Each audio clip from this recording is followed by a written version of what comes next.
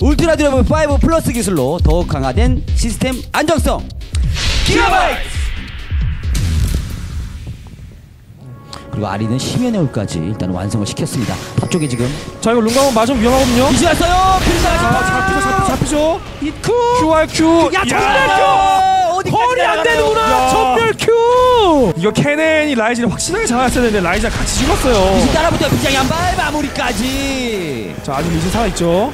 아 리신 아리 매우 진짜 매운 맞았어요. 음파 맞죠 이거 야! 어. 전형적인 미드 정글 캐리 그렇죠. 공연이즘 모다스 사실 저 종- 동현이즘이라는 예 이런 식으로 그렇죠. 예능감도 충만하게 연사 네. 잘했죠 아또 케넨이 케넨이 혼자서 블루 먹다가 이거 잡히면 음파 맞으면 맞았어요 빠진 케넨이에요. 아 케이틀린 앞전면 아, 는 없고. 계절폭 예술이었죠 계절풍 예리오. 미드 정글만 캐리하는 거 아니거든요 자 세시 스레시 완전히 잔나가 기다리네요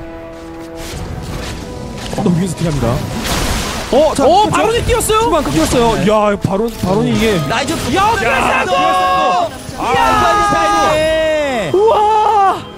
감성 샌더라고 하죠. 그게 한 번도 안 나와요. 자 이제는 좀 와드를 많이 설치해 놨거든요 자, 신기하다. 슈퍼 1인이요, 1인이에요. 아, 야,